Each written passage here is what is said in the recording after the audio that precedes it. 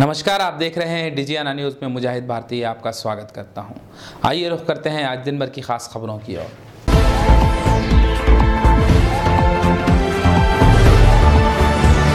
गुना अपर collector Niyaz Ahmed Khan के द्वारा जारी किया गया आदेश, जिसमें करीब 155 सरपंचों के खिलाफ शौचालय निर्माण में की जाने वाली गड़बड़ियों के खिलाफ एफआईआर करना सुनिश्चित किया गया है। इस आदेश के खिलाफ आज जिला पंचायत अध्यक्ष अर्चना बल्लू चौहान ने पत्रकार वार्ता बुलाई। वहाँ उन्होंने अपना रुख साफ़ करते हुए कहा है कि जिस तरह से अपर कलेक्टर न्याज अहमद खान घोटालों की बात कर रहे हैं, वह सिर्फ़ कागजों में ही है, जबकि धरातल पर जाकर उन्होंने किसी भी जगह का कोई मौका मुआयना तक नहीं किया है। वहीं आगे वह सरपंचों के खिलाफ एफआईआर के मामले पर बोली, उन्होंने कहा है कि नियाज खान ने किसी भी गाँव में जाकर कोई सर्वे नहीं कराया है, वहीं ओडीएफ करना सरपंचों के हाथ में नहीं होता है। साथ ही ओडीएफ में जिला कलेक्टर एवं सीईओ जिला पंचायत का हाथ होता है। अपने तेज तर्रार रुख में उन्होंने यह भी कहा है कि उनके पति ऑफ़िस में बैठे थे, जिसके खिलाफ प्रभारी सीईओ नियाज खान ने शिकायत की थी। उनका यह भी कहना है कि सरपंच महिला या कोई महिला जनप्रतिनिधि अकेली कहीं नहीं जाती है। उसके साथ उसके परिचित, उसके परिजन या उसका पति कोई ना कोई तो चाहिए ही। साथ ही उन्होंने यह भी कहा है कि उनके पति बल्लू चौहान किसी भी तरह से उनके कार्यों में कोई हस्तक्षेप नहीं करते हैं। अब देखना यह होगा कि इस मामले में प्रभारी सीईओ नियाज खान क्या रवैया अपनाते हैं। मैं स्वयं पढ़ी लिखी हूँ और मेरे पति कभी भी मेरे किसी भी शासकीय कार्य में हस्तक्षेप नहीं करते। मेरे अध्यक्ष बनने से अभी तक जितने भी कार्यक्रम हुए, उसमें मैं खुद उपस्थित रहती हूँ। चाहे वो शासकीय कार्य हो, चाहे कोई कोई बैठक हो, चाहे अंत्योदय मेला हो, चाहे स्वास्थ्य शिविर हो, चाहे कल्याण शिविर, लोक कल्याण शिविर हो, चाहे योजना समिति की बैठक हो, हर बैठक में मैं उपस्थित रहती हूँ। मेरे पति ने कभी मेरे अधिकारों का आहरण नहीं किया और ना ही वो कभी मेरी जगह पर बैठते हैं और मैं हर कार्यक्रम में खुद स्वयं भाग लेती हूँ। और इससे मेरे पति के हस्तक्षेप की बात कहाँ से आती है? आप लोग मुझे बताएँ। अंत में बस मैं इतना कहना चाहूँगी कि एडीएम साहब सिर्फ़ मीडिया में रहने के लिए लोगों को नाहक डराकर उनमें भय पैदा करना चाहते हैं। इसके अलावा वे कुछ नहीं चाहते। उन्हें तो विकास की बात करना चाहिए। पर वो विकास की बात तो करते नहीं। और सिर्फ़ जनप्रतिनिधियों पर झूठे इल्ज़ाम लगाकर उन्हें डराना चाहते हैं? नहीं, मैं ऐसे लोगों का समर्थन नहीं कर रही हूँ। पर जिनके खिलाफ हुए उनको पूरी जाँच करें, उनकी जाँच रिपोर्ट सही हो, तब किसी के भी खिलाफ कुछ भी कह सकते हैं। ऐसा थोड़ी है? किसी के खिलाफ कुछ सुना, ना किसी को देखा, ना कभी वहाँ निरीक्षण किया और किसी के पर भी इल्ज़ाम लगा दें। इतना हक तो नहीं है। तो जिस, जो पकड़ा गया है, जिसके सही रिपोर्ट है, सही जाँच में पाए गए हैं तो उन पे मैंने कब मना किया? है उन पे होना चाहिए। पर जो बिना मतलब में जिसको परेशान किया जा रहा है, मैं उनकी बात कर रही हूँ। ऐसे जो भी लोग हैं, मैं उनकी सूची दे सकती हूँ, जिनको फालतू में डरा के उनसे काम लिया जा रहा है। अभी जिसका जितना टारगेट दिया गया था, शौचालय का, उन सरपंचों ने उतना टारगेट बना दिया। अब वो कह रहे हैं कि मैं जेब से बनाऊँ। जितना टारगेट उन्हें दिया गया था सरकारी रूप से उन्हें उतना मदद लगाया उनने, या फिर वो जाँच में गलत पाया गया तो उनके खिलाफ कुछ भी कर सकते हैं वो। मगर जब जो गलत नहीं पाएगा, बस मैं उनकी बात कर रही हूँ कि जो गलत नहीं है, उनके खिलाफ उनको कहने का अधिकार कैसे, किसने दिया है? जो नहीं पाएगा, मैं उनकी सूची दे दूँगी ना। मामला चल रहा है। इसमें बस फालतू परेशान करना और उनको डराना, इसके अलावा और कुछ नहीं चल रहा है। देखो, सरपंच एक जनप्रतिनिधि होता है और उसको जनता चुन के भेजती है। एक जनप्रतिनिधि का सम्मान करना, हर अधिकारी का, हर व्यक्ति का अधिकार होता है तो अगर अपमान, अपमानित किया जाता है तो ये अपने देश की और अपने संविधान की बहुत बड़ी कमी है, जो कि कोई भी अधिकारी किसी को भी अपमानित करने का हक नहीं रखता। ज़िले के जो अपर कलेक्टर, जिला पंचायत के जो प्रभारी सीओ नियाज अहमद खान हैं, उन्होंने ठोस कार्रवाई की बजाय मीडिया की सुर्खियों में रहने के लिए हवाई आदेशों में उड़ने के लिए ऐसी बेतुकी बयानबाजी करने के आदि हो गए हैं। हाल ही में उनके द्वारा एक आदेश जारी हुआ था कि जिला जनपद पंचायत के साथ मिलकर जिला पंचायत के पूर्व मुख्य कार्यपालन अधिकारी श्री कैलाश वानखेड़े द्वारा ज़िले को प्रधानमंत्री ग्रामीण आवास व अन्य योजनाओं में प्रदेश में प्रथम स्थान पर लाए थे। इनके द्वारा डाइट के प्रचार को भी हटाने का आदेश जारी हुआ था। लेकिन प्रचार आज भी डाइट में कार्यरत है, जहाँ तक सरपंच जन प्रतिनिधियों और पति रिश्तेदारों की बात है। तो कार्यालय में सभी आ सकते हैं और सभी बैठ सकते हैं। कार्यालय में कोई भी पति या कोई भी रिश्तेदार क्यों नहीं आ सकता? कोई भी आम व्यक्ति भी बैठ सकता है। अगर एफआईआर सरपंचों पे करा रहे हैं तो फिर एफआईआर उन पे भी होना चाहिए। जब उनने ओडीएफ भी उन्होंने किया और उन्होंने ओडीएफ को शून्य कर दिया तो एफ़ एफआईआर तो फिर सब अधिकारियों पे होना चाहिए। जनप्रतिनिधियों पे एफआईआर क्यों हो रही है? और अगर जनप्रतिनिधि कोई गलती करता भी है तो अधिकारी का भी एक काम बनता है कि उसको समझाएँ कि ऐसी गलती ना करें। उनने सारे शौचालय बनवा दिए। और शौचालय वो अपने जेब से तो बनवाएँगे नहीं, जब टारगेट पूरा हो चुका है तो वो क्या अपने जेब से बनवाएँगे? तो अगर उन पर एफ़ कर सकते हैं तो मैं समझती हूँ कि एडीएम साहब पे भी एफआईआर होना चाहिए।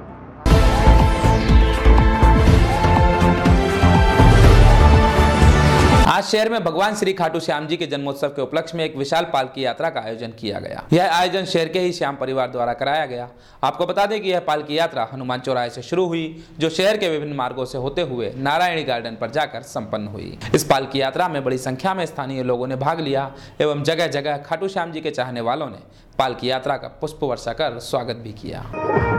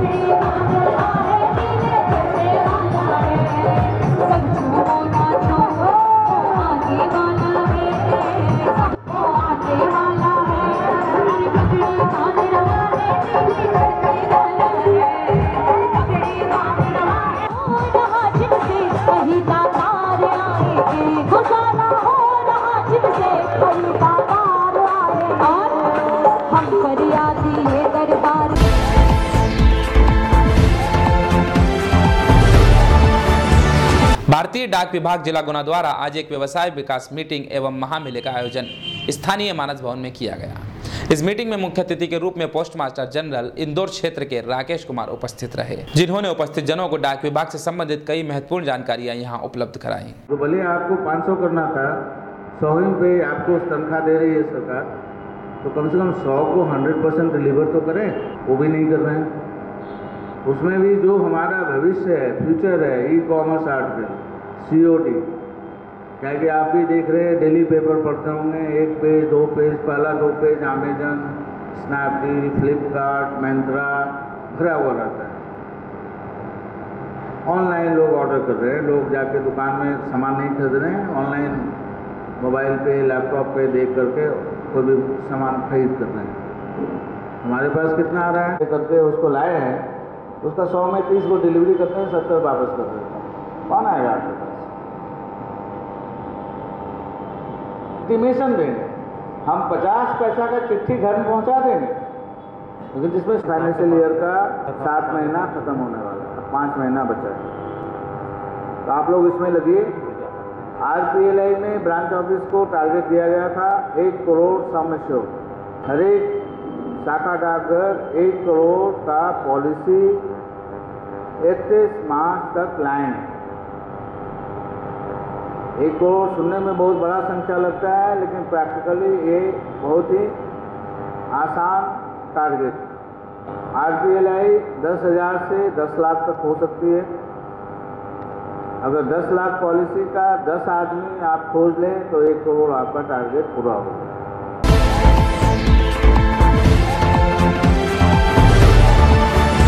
घर के मंदिर में लगे दिए से सुलगी आग में घर का सारा सामान जलकर खाक हो गया है। मामला कैंट स्थित खटीक मोहल्ले का बताया जा रहा है, जहाँ मंदिर में दिया लगाने के बाद घर के लोग बाहर आ गए, तभी दिया वहाँ से गिर गया और आग लग गई, जिसमें घर के सामान के साथ अलमारी में रखे सोने एवं चांदी के जेवर व कुछ नकदी सहित लाखों रुपये का सामान जलकर खाक हो गया है।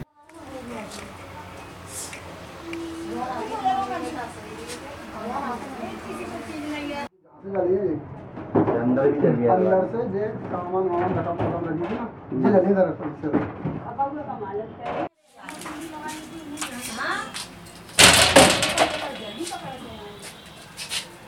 लगे देखो ये जला है।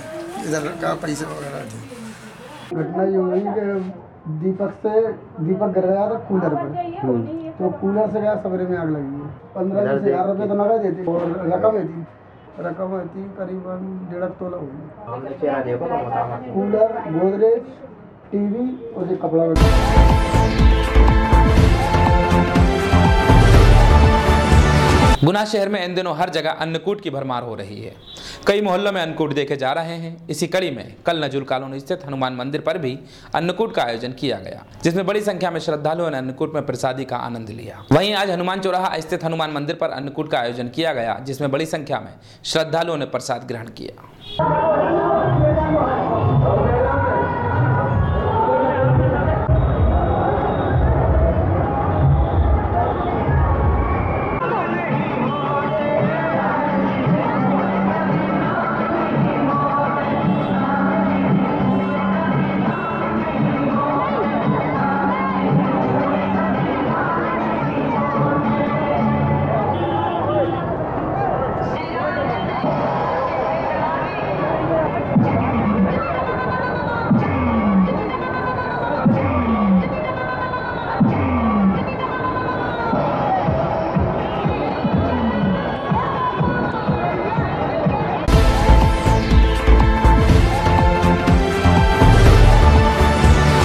पच्चीसवीं राष्ट्रीय बाल विज्ञान कांग्रेस की जिला स्तरीय प्रतियोगिता का आयोजन स्थानीय प्रेसिडेंसी स्कूल में किया गया, जिसमें ज़िले भर के कई बच्चों ने अपने विज्ञान पर आधारित मॉडल प्रस्तुत किए। आपको बता दें कि यहाँ से चयनित छात्र छात्राएँ अगले लेवल पर अपने मॉडल का प्रदर्शन करने के लिए बाहर जाएँगे।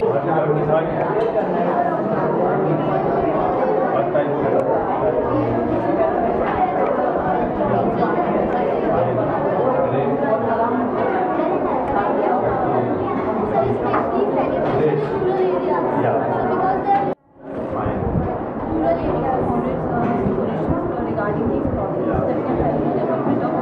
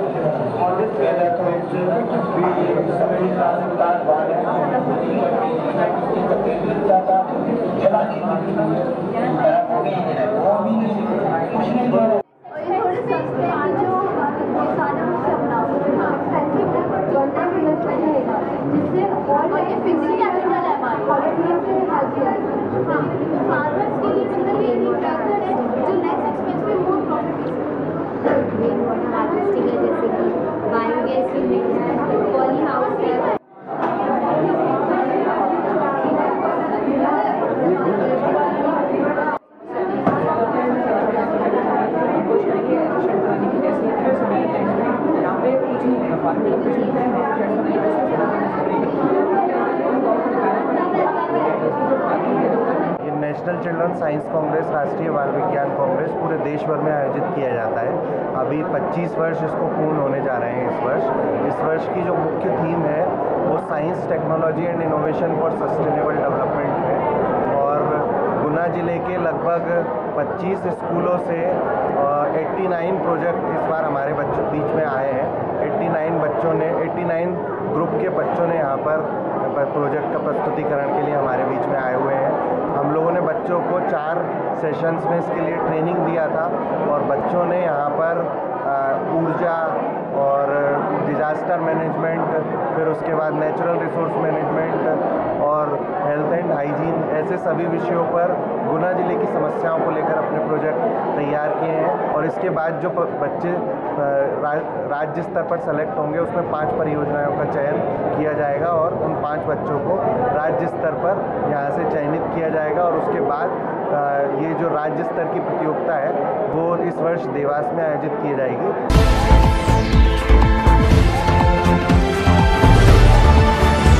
शासकीय उत्कृष्ट विद्यालय में आज सरकार की महती योजना छात्रवृत्ति को लेकर एक कार्यशाला का आयोजन किया गया। गौरतलब है कि छात्रवृत्ति से संबंधित सभी कार्य को निपटाने के लिए अंतिम तिथि 31 अक्टूबर है, जबकि शासकीय उत्कृष्ट विद्यालय गुना की टीम अब तक इस क्षेत्र में प्रदेश में सबसे सर्वश्रेष्ठ कार्य कर रही है। डाटा नहीं है उसके पास। जैसे मैडम बता रही थी उसको रोल नंबर भी लगता है। आइडेंटिटी कार्ड पे रोल नंबर डालो आप करेंट के नामांकन डालो। कार्ड आप इशू तो कर रहे हो। तमाम चीज़ें आप डाल सकते हो यार, उसके आइडेंटिटी कार्ड के ऊपर।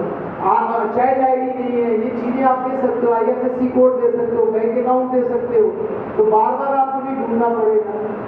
आपको ये जैसे नाम बदनाम करते हमारे पठान साहब। पठान साहब ने कही पोर्टल नहीं चल रहा। तो पोर्टल नहीं चल रहा। और कार्यशाला हमने छात्रवृत्ति एक महती योजना है। इस महती योजना का क्रियान्वयन इकतीस तारीख तक पूर्ण होना। है जिसमें हम तीस तारीख तक सारा काम अपना कर लेंगे। आज दिनांक में हमारा काम उनचास परसेंट हो के हम प्रदेश में पहले स्थान पर ये उम्मीद है कि हम तीस तारीख तक अपना सारा काम पूरा कर लेंगे।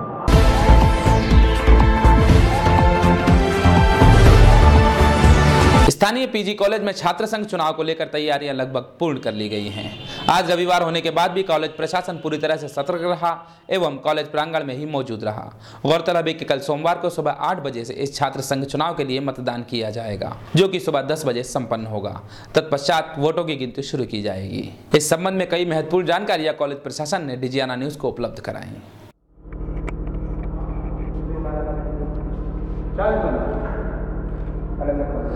मतलब जैसे इस कमरे में चालू नहीं। किसी में वो आज ही मतलब मतलब केवल चालीस ही नहीं चालीस ही फॉरवर्ड कर नीचे मान नीचे मान हमें भाई बड़ा दोनों साइडों में। केवल वो लग जाए डंडे वो कपड़ा से कवर हो जाए तेईस कक्षाओं में कक्षा प्रतिनिधि का चुनाव है जिसके लिए 40 बूथ बनाए गए हैं। बूथों की तैयारी की जा रही है। शाम तक संपूर्ण तैयारी कर ली जाएगी। सभी टीचर भी आ गए हैं स्कूल शिक्षा विभाग से।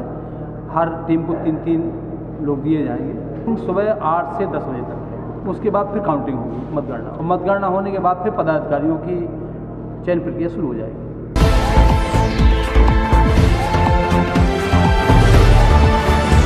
राघोगढ़ विधानसभा क्षेत्र के झाजोन गाँव में हो रहा है चमत्कार। आपको बता दें कि इस गाँव में अलग अलग दो जगहों पर दो मंदिर हैं एवं दोनों मंदिरों की अलग अलग विशेषताएँ भी हैं। एक मंदिर गाँव में है तो दूसरा मंदिर गाँव से ही कुछ दूरी पर है। पहला मंदिर गाँव में एक बरगद के पेड़ के नीचे है जो शिव के नाम से जाना जाता है। इस मंदिर की विशेषता यह है कि एक छोटा सा मंदिर है जहाँ पर सन 2001 से अखंड जोत जल रही है। हालाँकि आपने बहुत मंदिरों में जोत जलते देखी होगी, लेकिन इस मंदिर जैसी नहीं देखी होगी। आपने देखा होगा कि जब किसी मंदिर में जोत जलती है तो उसमें घी या तेल डालना पड़ता है। लेकिन इस जोत की विशेषता यह है कि सन 2001 से लगातार निरंतर 24 घंटे जल रही है। इस जोत में घी, तेल कुछ भी नहीं डाला जाता है। यह अपने आप ही जलती है। इसे लगातार जलते हुए लगभग 16 साल से भी अधिक का समय हो चुका है। ग्रामीणों व मंदिर के पुजारी का कहना है कि जब सन 2001 में नवरात्रि का समय था, तब नवरात्रि के समय सिर्फ़ नौ दिन तक इस जोत में घी डाला गया था। उसके बाद से आज तक इसमें घी या तेल कुछ भी नहीं डाला गया है। नौ दुर्गन में घी डालवे इसके बाद कन्या जो आते हैं मतलब जला ही रही है बुझी नहीं है। किसी ने बुझी नहीं देखी। हाँ हाँ घी नहीं डालो सत्रह साल सत्रह साल में। कोई बता दे आज तुम घी डालो तो। और महीना दो महीना गाँव वाले ने भी झूठी जानी कि पूरा पाले के दुक्के डाल रहे हैं। है? तो जब बताओ एक दिन चोरी करेंगे तो दो दिन करेंगे चार दिन करेंगे पकड़ो होंगे कि नहीं? नवरात्रि में जूत का निर्माण हुआ था जलवायु मतलब गाँव वाले सामने। फिर नौदन दोपहर ने घी डाला के बाद में पूजा अपन शांति करवा के ऐसे अपन पूजा कर रही फिर जब बिना घी तेल डाला अभी तक दो हज़ार एक से अभी तक जूत जल रही है।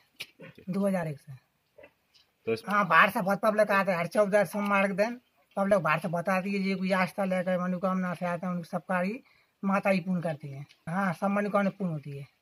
2001 में अपन ने नौदरगढ़ में जो जलाई जिसकी चलती हुए आज दिन तक चल रही है। नौ नौदरगढ़ में अपन ने नौवे तक डाला घी, जिसे आज 2017 तक वर्तमान में अपनी जो जो चालू है ग्राम जागरण में। यहाँ स्वयं भगवान विराजमान है। इतना ही नहीं इस जोत की सच्चाई जानने के लिए ग्रामीण व अन्य लोगों ने इसकी रखवाली करके देखी कि कहीं ऐसा तो नहीं कि कोई चुपके से आकर इसमें घी या तेल डाल जाता हो, लेकिन ऐसा कुछ भी नज़र नहीं आया। यहाँ तो सचमुच भगवान ही विराजमान है। यहाँ इस जोत के दर्शन करने के लिए बड़ी दूर दूर से लोग दर्शन करने के लिए आते हैं। जो भी सच्चे मन से इस जोत का दर्शन करता है, एवं उसके ऊपर विश्वास करता है, उसकी हर मनोकामना यहाँ पूर्ण होती है। वही दूसरा मंदिर गाँव के कुछ दूर घने जंगलों में है। यह मंदिर बैजनाथ सिद्ध बाबा के नाम से जाना जाता है। इस मंदिर की विशेषता यह है कि अगर कोई निसंतान है, उसके बच्चे नहीं है तो वह पति पत्नी इस मंदिर पर आते हैं और दर्शन करके पत्नी अपने हाथों में हल्दी लगाकर इस मंदिर की दीवार पर लगा देती है। उसे संतान का सुख प्राप्त होता है। इस मंदिर के चारों ओर घने जंगल है और पहाड़ी क्षेत्र है और बड़ी बड़ी चट्टाने हैं।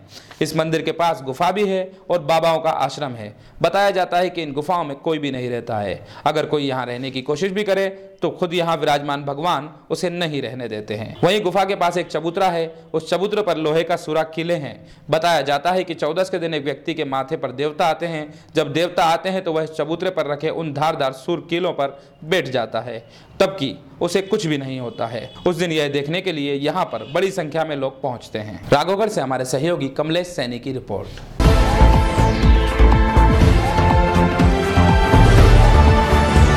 डिजियाना न्यूज़ में आज बस इतना ही। कल फिर हाजिर होंगे। तब तक दीजिए इजाज़त। नमस्कार।